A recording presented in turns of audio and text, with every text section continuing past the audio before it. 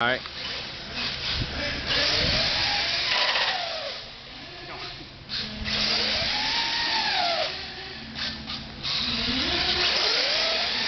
Here we are to Blaine doing donuts in the digger shop. Mm-hmm.